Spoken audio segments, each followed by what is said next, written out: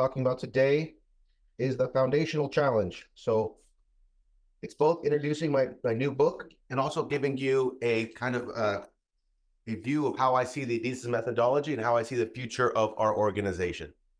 So some of you have already heard about this book and kind of learned about it. This will be a different take on it. So the question is, why another book? We have so many books on the Adizes methodology. This is just a small piece of the of what's going on here, right? I think there's probably three times as many books as you see up here on the screen. I couldn't fit them all up on the screen. So maybe some of you are wondering, why do we need another book on the methodology? Well, you know, the methodology is like a giant pie. And you can slice it any number of ways, right? There's like a thousand different ways to slice it. No matter how you slice it, you're always going to get the same core. And that's why oftentimes in the books, it almost seems repetitive because you get PAEI and CAPI and many of the same concepts. Because when you get to the core of it, it has the same core concepts, but you can slice it many different ways. So what we're looking at here is really my slice of the pie. And what was interesting about this book, which I think is different from the other books, is it really has minimum theory and a maximum application. Because everybody always asks us, great theory, very interesting. How do I apply it? Because we're sticking in the why. All the theories, the why. So here, forget about the why. It's all about the how. Very much tools you can use, very little code language. It's only 250 pages. It's quite an easy read.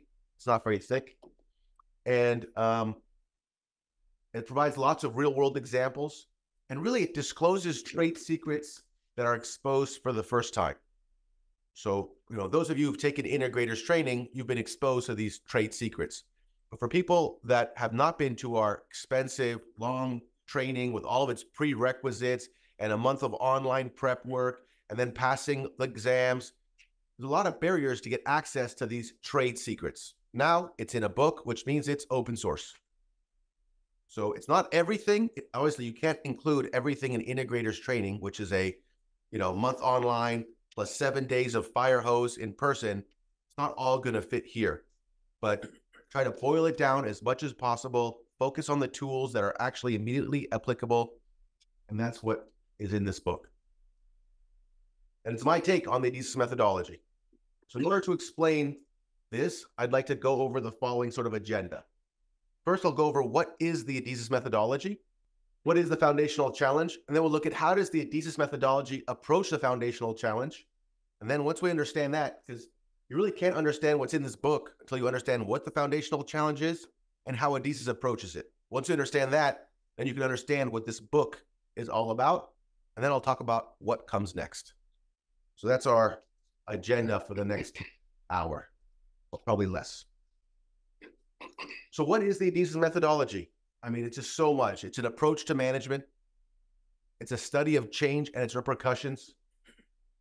It's a new way of understanding organizational health, a series of tools and models like the life cycle, the spreadsheet, the TPS matrix, so many different tools that we have. An operating system for cultural transformation. That's the 11 phases, right? It's really a new management paradigm, a new way of looking at how to manage. It's a profession, it's a language, and it's many other things. I bet we can do an accumulation and come up with 10 more things that it is. And it's been applied, this methodology has been applied to many different applications. It's not just to companies. For example, it's been applied to medicine. They actually teach some parts of Adizes in medical schools in different places in the world. Um, there's also history. You know, people are applying the life cycle to history. Uh, there's political science psychology, coaching, engineering, sports, even.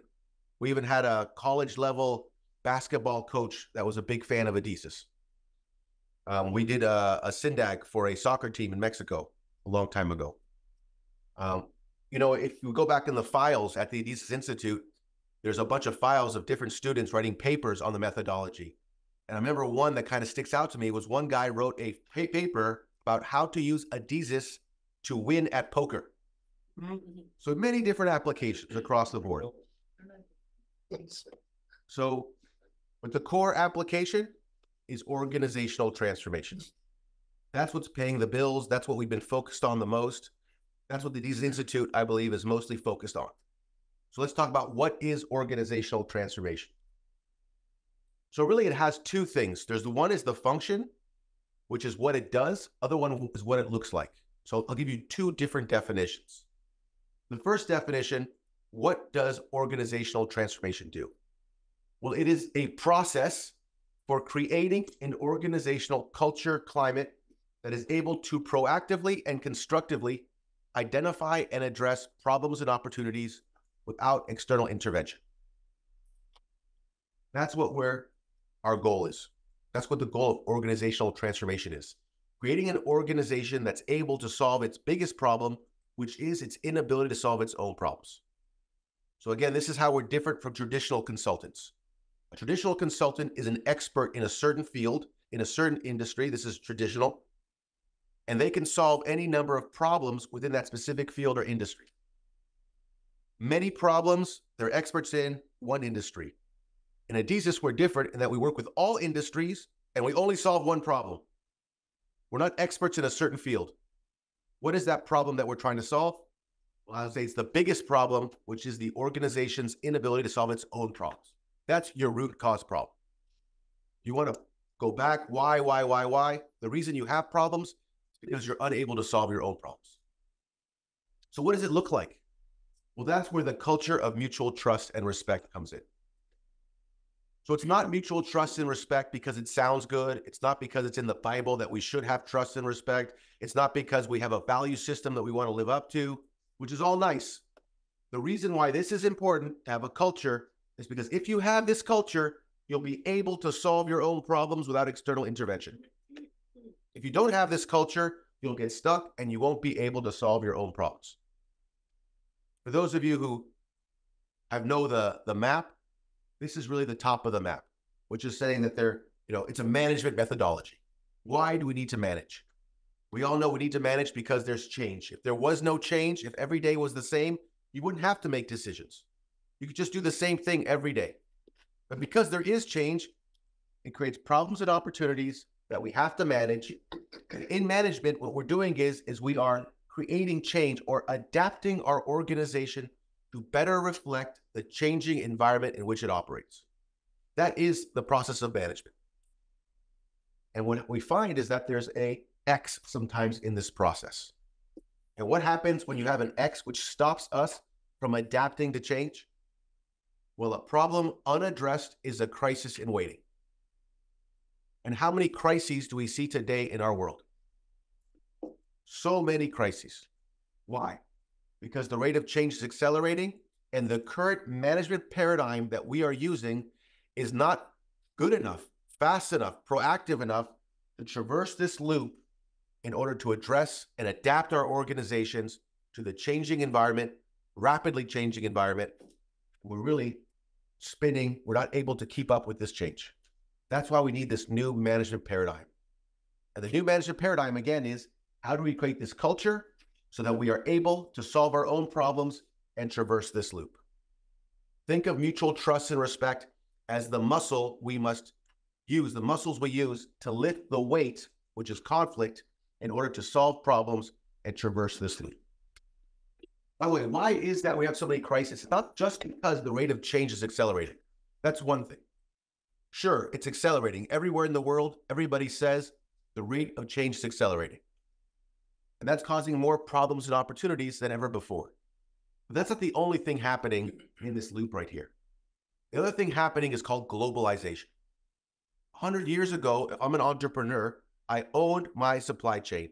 I owned my manufacturing. I owned my distribution. And if there was a problem, I could just tell people what to do. I could create change very easily. It wasn't very complex because I'm the boss. Today, if you have a problem in your system, are you able to solve it as easily? No. Why not? Because the people who do the manufacturing or the, dis- the supply chain, you probably don't own it. It's probably outsourced. Your manufacturing also outsourced, probably in China. Your distribution outsourced. We don't actually own all of the all the things we need to get the job done. We're partnering with them, which means we can't tell them what to do the same way we could 100 years ago when they were reporting directly to us as the boss. So our ability to affect change is greatly reduced because these people whose cooperation we need either A, don't work for us, and if they do work for us, Well, there's monster.com, which is a way of finding a new job if you ever make them mad, right? They can look for a new job like this. They're very much, you know, socially mobile. They can change jobs within no time at all. Their loyalty is gone. They're not going to stick around and let you tell them what to do. If they don't like it, they can move on, which is different from a hundred years ago where people did not have that capability. So that's what the Adizes methodology is really about. Again, solving an organization's biggest problem, which is its inability to solve its own problems. And that's what the foundational challenge is. The foundational challenge is it's the root cause problem. It's the biggest problem, just like I already said. It's the organization's inability to solve its own problems rapidly enough. So this is sort of from the book. Have you ever felt the pain of not being able to solve a problem, not due to lack of solution, but because of conflict and disagreement between the people whose cooperation you need to implement? That's the problem we're trying to solve. And this book is for you. Just on a side note, I was watching, you know, I watched all these news channels and all these politics TV shows.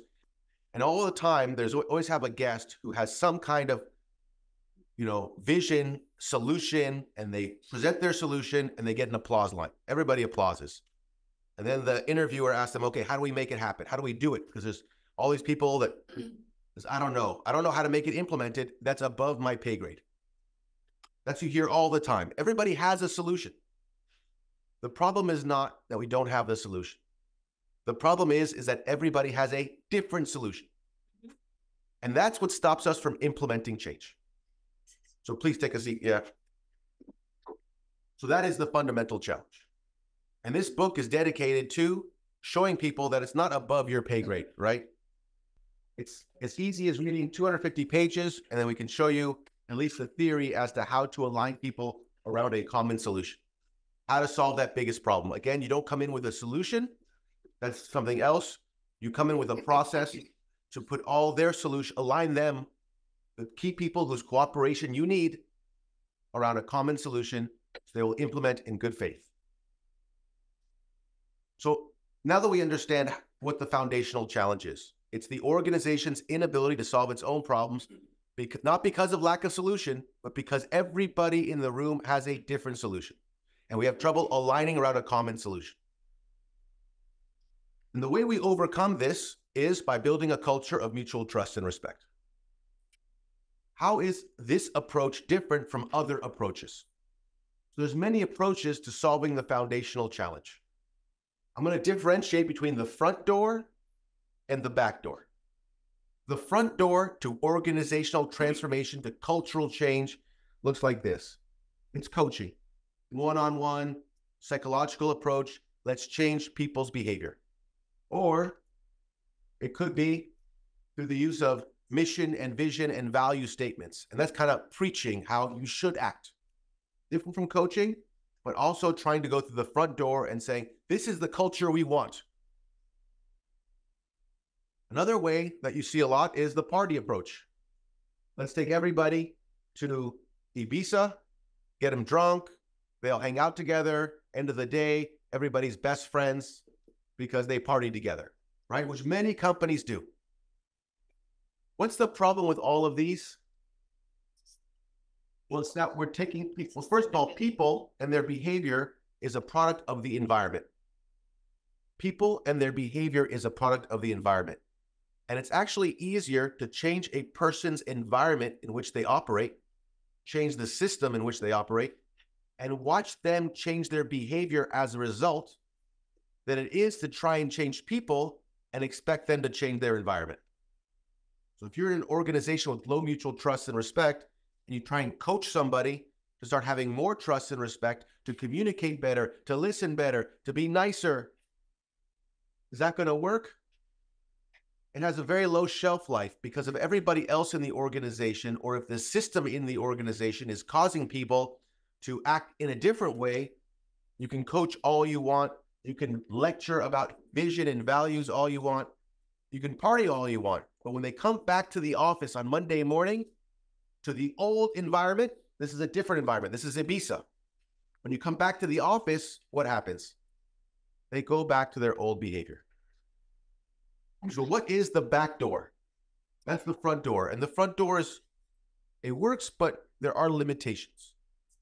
In order to explain the back door, let me, I want to give you a different approach. So, this is not the back door, but a different approach to changing culture, building teamwork, building a culture of mutual trust and respect.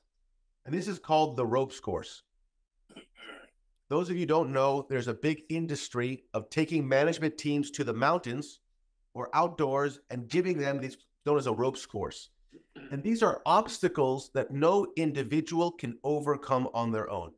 This lady is going to need the help of this lady in order to do what they have to do, overcome that obstacle. Same thing with this. You can't climb that wall on your own, but by working together, they can climb the wall. There's many different obstacle obstacles they go through, and by working together to overcome these obstacles that no individual can overcome on their own, at the end of the day, teamwork is developed. Everybody is happy, everybody is singing, holding, hugging. The love is in the air. What's the problem with this approach? Again, people's behavior is a product of the environment in which they operate. And it's, we took you out of your office environment to a new environment, the mountains, nature, and your behavior changed. What happens Monday morning when they come back to the office? The same. The behavior quickly reverts back to the old behavior. But the theory here is sound. What is the theory? The theory is is that best way to develop teamwork is by getting different people to work together to overcome a challenge that none of them could overcome on their own. That works. I support that. The only thing I don't support is taking them out of the work environment.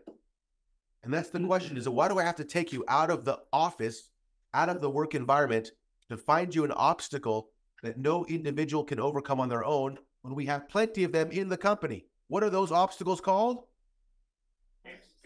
problems, potential improvement points, opportunities, right? These are issues that no individual can overcome on their own. If they did, if they could solve them on their own, they would have already solved them, or they would have been assigned to solve them individually. But there are many issues that are cross functional. We have silos, people are not talking to each other. That's how these problems come up. By getting them to work together like this to solve those problems, we can use that as a tool for building mutual trust and respect.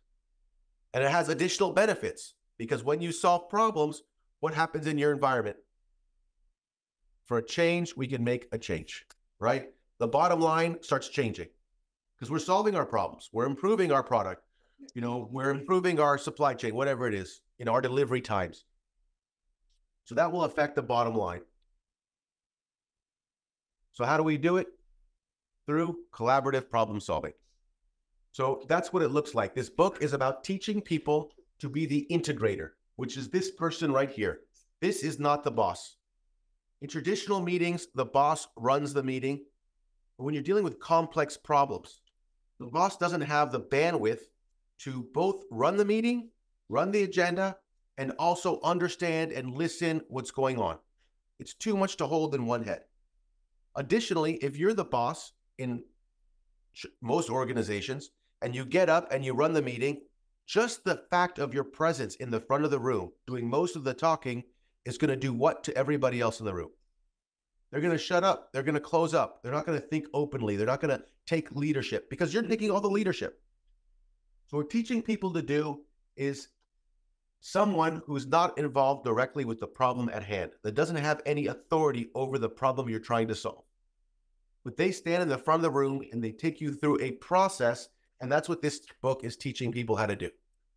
How do you how do you fulfill this role of supporting bosses in their meetings for complex problem solving collaboratively so that way the boss can sit back listen and make the best decision possible because you're helping them get all the information they need in order to make the best decision. Both information on the subject being discussed and also information on the level of buy in of all the people whose cooperation they will need to solve that problem. So that's what the book is teaching people how to do. So again, how to integrate. I just explained what integrate means. Integrate is that job to be that person that's supporting the boss through running the meetings. And if this is done correctly, it helps the organization find better solutions that are implemented quickly and in good faith, which improves the bottom line. Why are they quickly implemented? Because you got the buy in, or maybe not the full buy in, but at least you got the opinion and everybody was able to speak up and say why they disagree.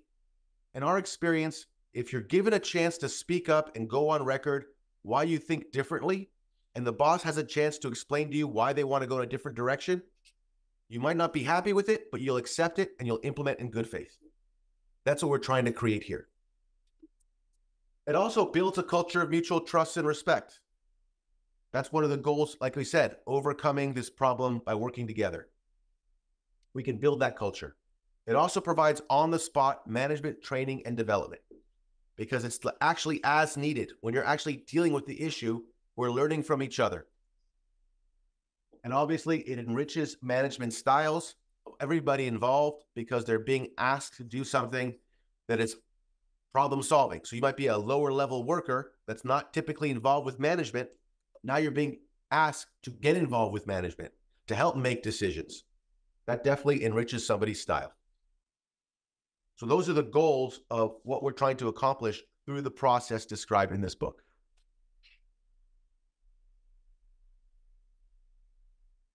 A little bit about what you'll expect to learn in this book. There's two core analogies that sort of outline this book.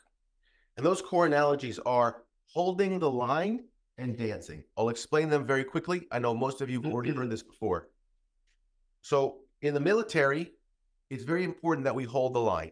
As we advance on the enemy, it's important that people don't jump ahead or fall behind. That's why you'll hear in many military movies, hold the line. What happens in the military if somebody jumps ahead? When we open fire, we shoot them. If somebody falls behind, when they open fire, they shoot us. That's what happens in many meetings. Different people advance at different speeds towards the enemy, towards the solution.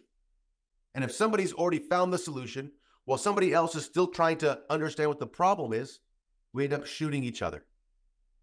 So, your job as an integrator, what we're teaching you to do in this book is how to hold that line.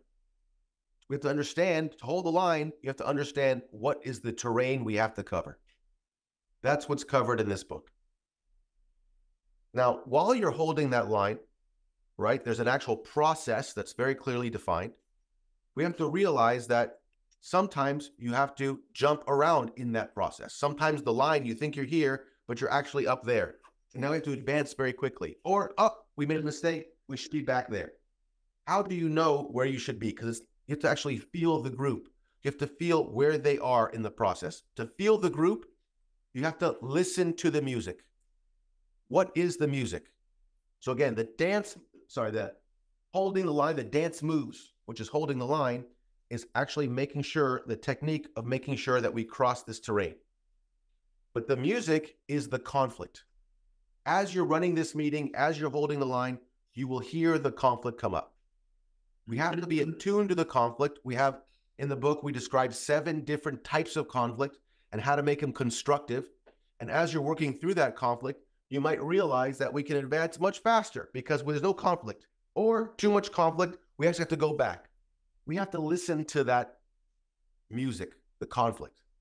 And the analogy here that goes back to when I was younger, I was invited to go to a dance class. My friend's a dance instructor. He says, Come to my dance class. You'll meet a lot of cool people. Great. The first hour teaching you how to dance, it's like this one foot forward, one foot back, one foot forward, very mechanistic, right?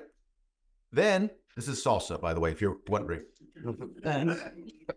then they turn on the music, come the professional dancers, and are the professional dancers doing this? You can't find that activity anywhere in what they're doing. Why? Because they're adapting the dance moves to the music they're hearing.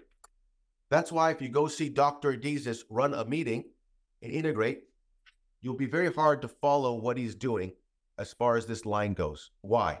Because he's listening to the music and he's dancing.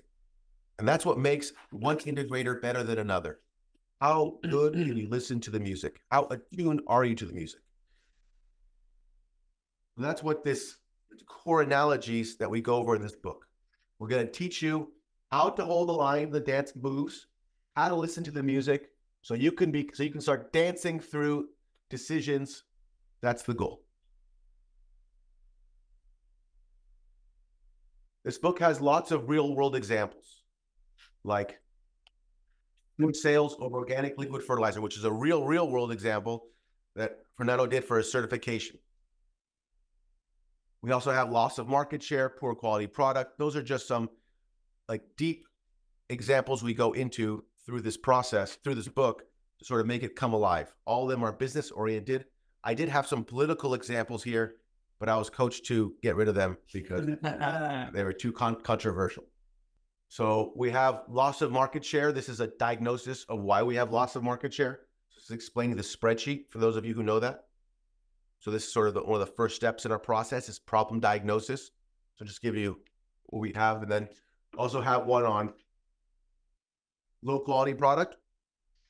And like I said, we already have one also on uh, poor sales of liquid fertilizer, which is the real, I guess the it's sort of like a vignette or a, the first, I think it's 20 pages, tell the story of really Fernando's certification that he presented to us, kind of made up a story based on it. And um, then we go back and kind of analyze what Fernando did in this story. And we kind of constantly go back through the book. So that way, the whole idea is to have them sort of watch a synerteam in action and then explain what was done in every step through the book. So that's how it's designed, how it's organized. So what's the goal? What comes next? Well, the whole thing is, I think the first step is to popularize this book through marketing and mm. hopefully translate the book and publish it in different languages. And then we're going to develop a short course based on the book. In the short term, I'll probably be the one to teach it. Or in the longer term, hey, it's a book. As far as I'm, as far as I know, I might be wrong, but I think anybody can teach a course based on a book. It's become open source, right?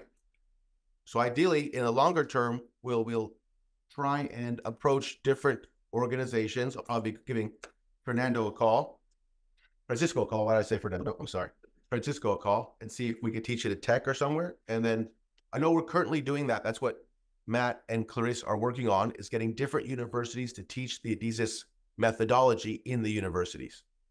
I think what I'm trying to do here, and I think that's the direction the Institute is going, is to try and make ourselves much more market focused, much more um, less theory, more application.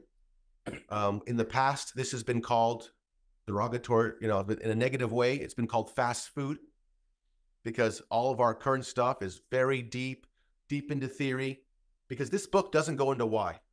And when you get in trouble running a synerteam, integrating a team, and you get in trouble, the answer, the solution is in the why you don't understand the why, it's easy to get stuck. But we all know that you want to match the complexity of your solution with the complexity of the organization. Right? Just let me explain to you what I mean here. If you work in an organization with five people and you come in with a very elaborate Adizes methodology, you know, uh, administrator, integrator, implementer, resources, full lecture, and then go through all the rules and have our whole deep process the process is too complex for such a simple organization. They're going to get frustrated. They're not going to want that. They need a much simpler process. We have to dumb down our process for to match the match the complexity of our solution with the complexity of their organization. Now, the same thing is true if you have a very complex organization and you're using a very simple process. It's not going to work either. As the organization evolves, so should the managerial process. So you can think of this book as sort of a beginner's guide. Before the organization gets too complex, there's too much internal fighting, and there's too much going on. If you are working with organizations with enough mutual trust and respect on problems that are not too complex, this will be enough. The idea here is that in the long run, it'll be a feeder for our deeper course, which is leading highly effective teams, Adizes Integrators Training. So this will remain our exclusive training of the Adizes Institute. But this eventually will hopefully be, it's open source now, but hopefully later we can get people to start teaching it. So At first, it'll probably be associates. You know, hopefully, if I can convince you guys in different languages, and then uh, maybe later it'll be people not associates, so we can convince them, sort of train the trainers, and that way we can expand it and hopefully raise an army of integrators. That's kind of the goal. And I just want to uh, one of the goals is to compete with Scrum. So I know many of you know about Scrum. They have trainings all over the world all the time. It's also open source. Many different organizations do trainings on Scrum. Okay. We want to go after their market. It's going to be a short training. We're looking at two or three days. No prerequisites, no exams. They probably should read the book before they come, but it's not required. And no certification, right? It's just a starting point. Maybe a certificate of attendance, but nothing more. So that's my kind of vision for, but not mine. I think it's, uh, you know, Dr. Adizes was the one who asked me to write this book. So I didn't, you know, I was against it at first because I was like, I don't know how to write a book about integration without the theory. So it took me a long time. It took me literally since 2021. So it's been three years that I've been writing this book. I mean, let's face it, this book is a commercial for integrators training. Everywhere in this book, there's always a reference to come to integrators training, come take the course. So we're definitely letting them know this isn't everything. It's a commercial. And the course itself, the what I'm describing here, will also be kind of a commercial saying, here are the tools. You want to know more? This is where it'll work. It'll work in simple organizations with simple problems, uh, not too much conflict, high mutual trust and respect. This will work for that. And by the way, that's a lot of cases. If you if this is not working for you, if you pull a muscle, if things start getting uncomfortable in the room and you don't know what to do, now you know who to call. Because I think that they don't even know who to call right now because this information, we've been keeping it so secret, people don't even know it's available in the marketplace. So it's a starting point but it's definitely just a commercial for Okay. deeper and, and, and a commercial that adds value. It's not just a commercial; it actually has content and real tools. Um, some of the tools we are teaching is stuff like the spreadsheet, but not the spreadsheet. It's just very simple: causes, people, process, structure, mission, vision, subsystems, operational issues, and manifestations. So we kind of really reduce the complexity of our tools to make them as simple as possible. I, I think you saw that over here with the uh, Yeah, chart. yeah, this right here. It's just there's no this is this spreadsheet that we're teaching. And one of the key things we're also teaching, which I think is where most people mess up, is what is I've, I've got my diagnosis, right? Now we understand by working together, we got all the problems on the table, we sequence them. Now what do we do about it? Now we're in task definition, right? We have to define the tasks. The mistake, the one of the biggest mistakes that I see new integrators make is they don't know in which sequence we should address the tasks. Where do I start? Should I start asking what is the task for lack lack of market share? If I do that, I'm going to get lost. Yeah. Should I start here with people do not care about quality? I start there, lose all momentum, people get frustrated, you're going to lose the room. So understanding the right sequence and just asking, what do we do about this pip? What do we do about this pip? What is the task for this pip? That's one of the key key real world applications that I, that I think will have the most impact. Criteria selection, it's like uh, two pages. Solution finding is a paragraph. So I don't go deep into those guys. But I think I give enough tools. I think so. We'll have to see. I have to test it. You know what I mean? But um, I'm pretty proud of it. I think it's a good book. I reread it when I was going through this book to, you know, check all the spelling and all the formatting. And as I was reading it, I get times where I'm like, nobody's ever going to read this.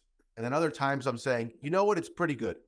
And then I had a call with, um, it's a specific type of a consulting company that helps implement a software system for um, for programmers, program development, and it's a pretty big organization. And I had a call with them because they're considering attending integrators training. And as I'm talking to the guy, he says, "Yeah, I'm a big fan. I read all of the books of Adizes, and I also read your book." And Tamara just sent out the email like probably less than a week before I talked to this guy. So the guy downloaded the ebook and already read it. So I was, I was, I was like, "You're the first one, other than my mom, Avi, and you know, and a few associates. You're the first one." So it is. No, I think he he gave me positive feedback. I don't know how to take it. Um, if you know, because oftentimes they'll just tell you nice things just because you're on the phone with them. Okay. So one more thing here I want to say is just that this is the dedication. So the book is dedicated to past, present, and future Adizes associates worldwide who have and continue to make overcoming the foundational challenge their life's mission. So this is really a book for us and for other people. We try we try to raise this army of integrators. Okay.